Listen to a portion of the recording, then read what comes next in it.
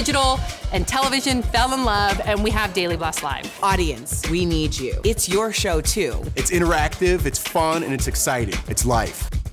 Daily Blast Live, weekdays at 3 on WHAS 11.